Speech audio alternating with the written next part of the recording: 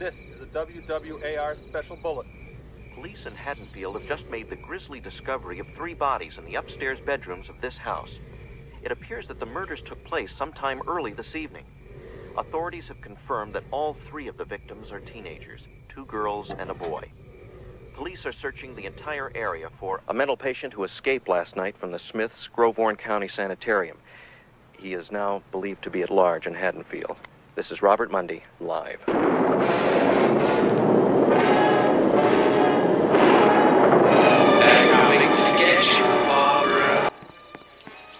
it! You're ignorant. They're coming for you, Barbara. Stop it! You're acting like a child. They're coming for you. Look, there comes one of them now.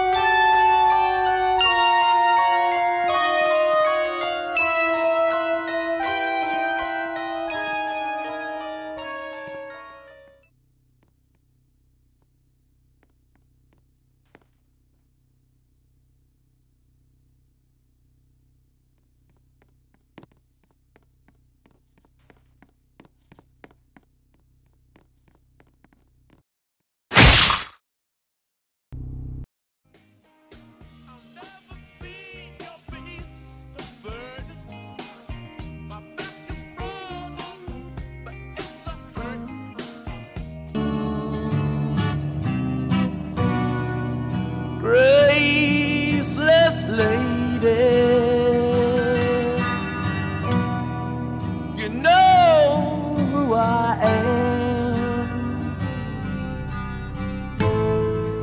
You know I can't let you